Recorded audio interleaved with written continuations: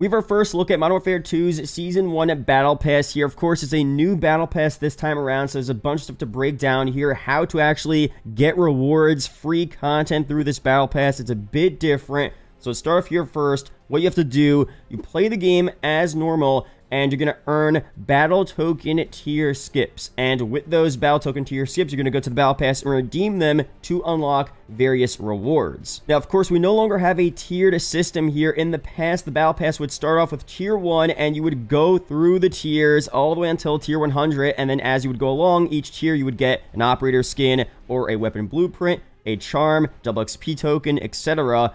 This time around, it's a bit different. You have different combat sectors on the Battle Pass here. Now, I previously thought we would only have a couple really big sectors here, but as you could see in the gameplay, you have so many different sectors. Each combat sector contains five rewards. It seems like the template here is you'll have one main operator skin, a charm, a calling card, a double XP token, and another item as well. It may be different for all of the sectors, but that's just an example sector they gave us here. So that's pretty cool. Now, completing sectors will open new ones. You have to complete all of the rewards in that sector, and then you'll have access to choose your own path on this map here. So as you can see, the map kind of is in a web format where you could go up a little bit, you could go through the middle, you could go down, and as long as you're completing sectors in some type of pathway, you could kind of skip around certain areas. So if you complete a sector and there's, let's say, three surrounding sectors, and you look at the items and you're saying, you know what, I don't really want to go for those items right now. I want to go for these first. You could go for that first, unlock that, use your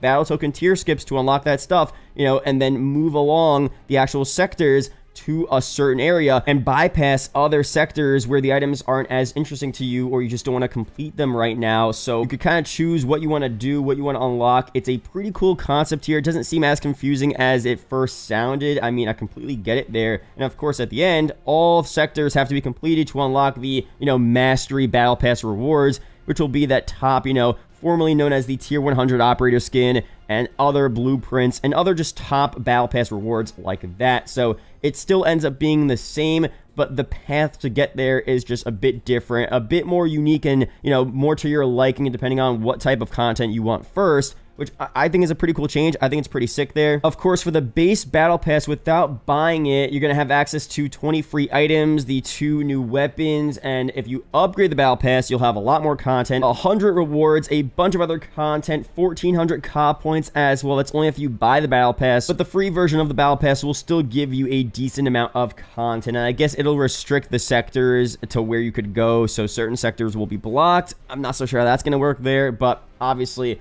pretty cool stuff overall. So again, this Battle Pass change, I think is cool.